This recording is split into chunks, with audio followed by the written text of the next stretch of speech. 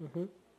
ayaya birarenze kugira umukunzi nkawe gutura mu mutima wawe kundutisha abandi. Yeah man the blessed the blessed the local local boy. Wakurikirana afro chat ukamenya imiziki y'abahanzi igezweho muri afurika no ku isi hose ubundi ukamenya amakuru yose y'abahanzi afro chat the number one. Boom. Bombo brati nagushimiye wese mu gukurikirana platform KWP 250 mubwira ngo wabashe guhisamo neza kubera ko wahisemo channel imwe ikugezaho amakuru yose y'imyidagaduro agiye atandukanye aba agiye agezweho hano mu gihugu cy'u Rwanda hanze y'u Rwanda ndetse n'ahandi henshi hagiye hatandukanye. Benshi mu banyarwanda ndetse n'abaturarwanda ah, mukomeje kugenda mwumva filime za action cyangwa se action movies zikinirwa no mu gihugu cy'u Rwanda. Mukavuga muti ibi bintu ni ibintu byiza cyane kubera ko biri gutuma sinema ah, y'abanyarwanda abanyarwanda barushaho kuyiyumvamo ndetse barushaho kuyikunda bitewe n'uko ah, murimo muragenda mubona movement cyangwa se murimo muragenda mubona ama action movies agenda asohoka. Mukarushaho kuvuga muti ibi bintu biramutse bikomeje byatuma sinema yacu yongera kugira indi sura. Kwibutsa ko nko muri leta zunze ubumwe za amerika hollywood. ah, usanga abantu batunzwe cyangwa se ah, muri media ikintu cyinjiza amafaranga menshi ugasanga sinema iri imbere cyane. Ah, sinema na music ugasanga ni imwe mu bintu biri imbere cyane kubera ko ah, nko muri amerika baravuga bati twebwe hollywood tugomba kwishyuramo amafaranga menshi kubera ko ah, ni bimwe mu bintu bituma ah, igihugu gitera imbere kubera ko byinjiza n'amafaranga menshi. Na nigeria aho bita muri nollywood ah, naho ubasha kubona ko filime ah, zabashe gutera imbere cyane. Ndetse na tz cyangwa se tanzania nabwo ugenda ubona ko urwego rwabo rwa filmmaking rumaze kugera hejuru. Hano mu rwanda urebye ni ho ah, twavuga ko mu kintu cya sinema tukiri inyuma cyane ugereranyije n'ibindi bintu kuko nko mu muziki ho ah, mumaze kubibona ko abahanzi nyarwanda bashobora kuba baseruka bakajya guhangana n'abahanzi b'iyo mu mahanga kandi bakabikora neza ndetse no mu bindi bintu byinshi bigiye bitandukanye. Ubasha kubona ko u rwanda ruhagaze neza mu magare murabizi ndetse no mu mupira ntabwo bikiri bibi nka mbere. Ariko mu kintu bita sinema byo ndahamya ko byari byaranze neza neza. Mwagiye kubona mubona mu minsi iri imbere mubona hasohotse iyo bita metre nzovu cyangwa se filime yagaragayemo umugabo witwaga metre nzovu. Iri zina nzovu rikaba ari izina yaherewe mu filime yitwaga zirara zishya. Ikaba ari filime yari ikozwe mu buryo bwa komedi filime yari iy'umugabo bitaga kanyombya cyangwa se iy'umugabo witwa kanyombya akaba ari we wari main actor muri iyo filime ariko ikaba ari filime ikozwe mu buryo bwa komedi nyuma yo kubona ko izina ry'uyu mugabo rikomeje gupfa ubusa abo bita Rock Entertainment abafatanyije n'iyo bita X Nation ndetse na Kasuku Media baravuze bati reka ibi bintu tubibyazemo umusaruro dukore short movie ariko mu buryo bwa action movie. Izi action movies zikomeze kuba zasohoka hano mu gihugu cy'u Rwanda. Rero zikomeje guterwa imbaraga cyangwa se guterwa inkunga na bamwe mu bagabo bakomakomeye bano bagabo bakora ah, muri filime z'agasobanuye cyangwa se bano bagabo bakora filime ku buryo busobanuye. Dore ko ah, mu myaka yashize abantu bamwe mu bakinnyi ba filime cyangwa se bamwe mu bantu bakora filime hano mu gihugu cy'u Rwanda bakomeje kurekera bavuga bati aba bagabo bakora filime ah, barimo baratuma isoko ryacu rya sinema ryacu ritabasha kugira aho riva ndetse n'aho rigera. Bijyanye n'uko batabashaga kuba basohora ibikorwa byabo ngo bigere hanze bitewe n'uko hari bamwe mu ba uh, filmmaking cyangwa se bamwe mu bakora agasobanuye bacuruzaga cyane muri icyo gihe kurusha abakinnyi ba filime cyane cyane ko abanyarwanda bari bamaze gusobanukirwa filime icyo ari cyo ku buryo ah, batabashaga kuba bakwiyumvisha uburyo ki bari buze kureba amakinamico y'abanyarwanda ngo nuko ari made in Rwanda kandi mu gihe hari filime zisobanuye ziri ah, meze neza cyane zirimo filime mu buryo butandukanye. Hari dramatic filime zimeze neza ubona ko koko ari dramatic film ndetse hari n'ama love story ubona ko ari ama love story akinnye neza ku buryo bwiza afite amashusho meza ndetse n'ama action movie ariyo akundwa n'abantu benshi ari na byo kintu nshaka kugira ngo tugarukeho ku kintu bita action movie.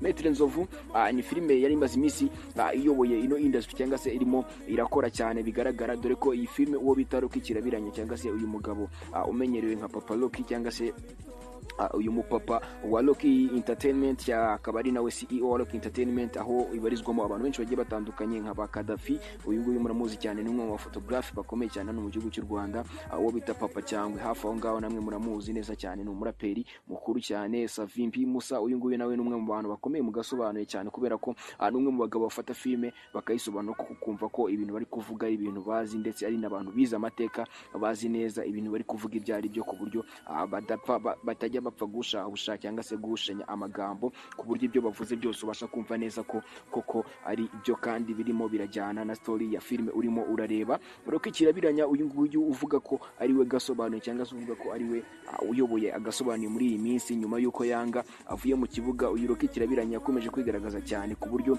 uh, wavuga ko ari umwe mu bagabo bakomeye ataba abeshya ariko kandi ku rundi ruhande hari abagabo bakoze agasobanuye from long time yo kugeza na kano kanya batigeze bakavamo. Ahangaha twavuga nka Sankara da Premier ni bamwe mu bagabo baje imbere ya Rocky bakanakora ndetse bakanigaragaza bakarya na hit nini cyane ah, ku buryo utapfa kuvuga ko nabo ari amashiga y'inyuma mu gasobanuye cyane cyane nk'umukuru w'abasobanuzi kuri kano kanya yitwa Junior Giti uyu nguyu ndagira ngo uno munsi tuze kuza kumuganiraho ndetse bize no kuduha isura ya Junior Giti ndetse n'isura ya Rocky kirabiranya ibi bintu abantu mubifata gute cyangwa se byakabaye bifatwa gute? Ninde wakabaye ari mukuru ah, kuri aba bagabo bombi? Ninde wakabaye ah, yitwa papa mukuru mu gasobanuye ndetse no ku mafilime y'amaakisiyo bombi bafite ah, ni iyihe filime irenze izindi? Iyi filime irimo irakinwa aka kanya ah, yatumye mfata mikoro zanjye nkavuga ni reka noneho nanjye ngira icyo nkora kuri action movie. Ah, ni filime ah, ishingiye ku nkuru zi- zitabayeho ariko zanditswe ariko kandi izi nkuru zikaba ari za nkuru zikunda kugaragara cyane muri story z'abashinwa. Kuko iyi filime uburyo ikoze barakubwira bati hari metre akaba ari metre kongwe cyangwa se azaba yitwa Maître Kongwe uyu nguyu uzaba yitwa Maître Kongwe uyu nguyu ni we uzaba agaragara ndetse nk'umu main actor kubera ko ni we uzaba azana amatekinike menshi agiye atandukanye. Abasore mu miguruko igiye itandukanye mu migeri itagira uko isa kubera ko njyewe nkimara kubona kuri iyi filime nahise mvuga ati iyi filime ntibaho ibi ngibi ntibisanzwe ibi ngibi ntabwo byakabaye bitari byaza muri industry nyarwanda. Uwo bita Junior Giti kuri ubu ngubu ni we ugiye gusobanura iyi filime yitwa Maître Kongwe Maître Kongwe niyo filime kano kanya igezweho cyangwa se ah, iyo bita ah, Master Kongwe. Iyi ngiyi ikaba ari imwe mu mafilime agiye guca ibintu hano mu gihugu cy'u Rwanda kubera ko Junior Giti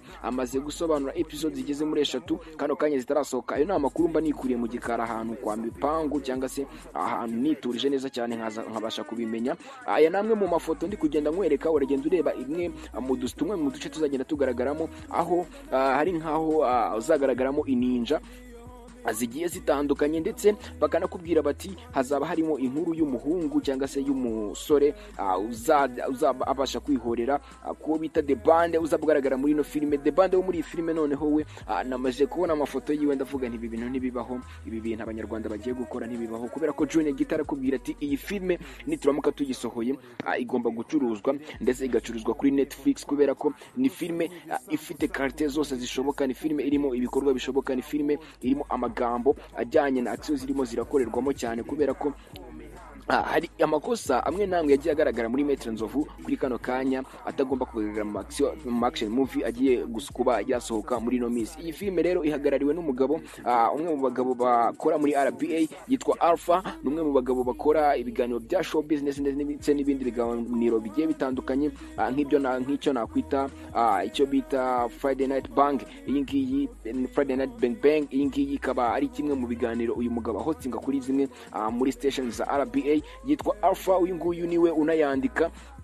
Akaba ari nawe ah, washoyemo amafaranga kugira ngo filime ibashe gukinwa. Junior Giti uyu nguyu ni uri inyuma ya DVOS kubera ko ni nawe izasohokeraho ah, platform KWP 250 njye mba nabimenye kare kugira ngo mbashe kubikubwira hakiri kare. Mbe nguteguje nkubwira nti Maître Nzovu ah, hari amwe mu makosa agiye agaragaramo harimo no kuba abantu banyarwanda bayitegereza igihe kirekire ugasanga bafashe ibyumweru bitatu bine bitanu batarayikina iyi ni filime yakinwe iramanza irarangira episode barazisobanura kuko ubu ngubu ni byo ndi kukubwira ngewe ni amakuru nifitiye. Nzi neza ko uwo bita Junior Giti aka kanya yarangije gusobanura filime filime irahari package irahari igisigaye ni ukuba bayi dropping out ndetse bakayishyira hanze. Ikintu nakubwira ni kimwe uzaba witeguye kuba ah, wacana televiziyo yawe uzaba witeguye kuba wakwicara imbere ya screen zawe kugira ngo urebe action movie. Niyo action movie ya mbere igiye kubaho mu gihugu cy'u Rwanda izaba iri kugaragaramo action za nyazo kubera ko abakinnyi cyangwa se abacasters bo muri ino filime ni abantu basanzwe bakina karate ndetse na acrobate Ah,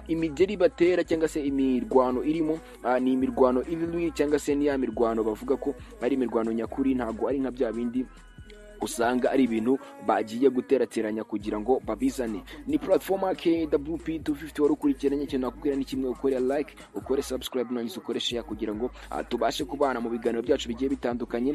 Byinshi kuri iyi filime Master Kongwe uzagenda ubimenya uh, aho itandukanye na Maître Nzovu nahakubwiye ndetse no, mu- bindi bintu bigiye bitandukanye bizagenda biyigaragaza uh, n'ibizagenda biyigaragaraho nzagenda mbikubwira ndetse na updates zigiye zitandukanye uzagenda uzimenya muri show business ndetse no mu zindi karte zose zituma ah, imyidagaduro nyarwanda ikomeza gutera imbere na zo uzagenda uzibona uzikurikirana neza neza ah, kuri mic ndetse no kuri eh, screen zawe binyuze kuri platform KWP 250 ni gukora like ugakora subscribe warangiza ugakanda kukazogera kugira ngo ujye ubasha kubona ah, buri video dukoze ubashe kuyigiraho igitekerezo ubashe kuyibonaho ibigiye bitandukanye bigenda bigivugwaho. Yitwa Alpha ni we casting manager cyangwa se ni we uhagarariye iyi film.